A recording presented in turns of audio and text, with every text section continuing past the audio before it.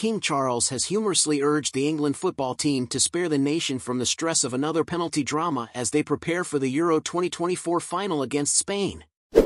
Following England's thrilling 2-1 victory over the Netherlands, Charles extended his congratulations to the team while cheekily advising them to secure victory without the nerve-wracking need for last-minute goals or penalty shootouts. He emphasized that avoiding such drama would greatly alleviate the nation's collective blood pressure and heart rate concerns. King Charles's message came after the intense semi-final match where Ollie Watkins scored a 90th minute winner, propelling England to their first Euros final on foreign soil. The match was marked by high tension, including a controversial Harry Kane penalty awarded by VAR that equalized the score after Xavi Simons' early goal for the Netherlands. Prince William, a fervent Aston Villa fan, also congratulated the team and specifically praised Watkins for his decisive goal. William, who serves as the president of the Football Association, is expected to attend the final in Berlin to support the team.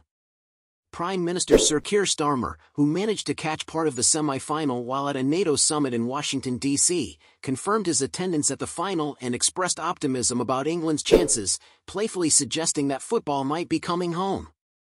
In another realm of sports and entertainment, Travis Kelce made headlines for the extravagant expense of securing a suite for the 2024 Super Bowl the Kansas City Chiefs star revealed the steep cost during an episode of Netflix's Receiver, where he discussed the matter with San Francisco 49ers player George Kittle.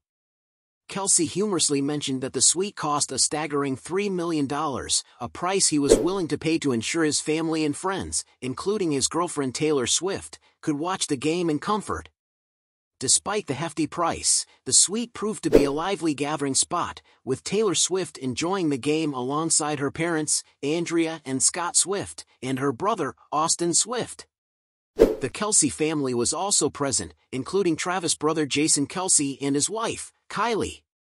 Taylor's friends, such as Blake Lively, Ice Spice, Ashley Avignone, Lana Del Rey, and Keleigh and Miles Teller, joined in the excitement, making the VIP booth a star-studded affair. Swift's presence at the Super Bowl was especially noteworthy, given her packed schedule.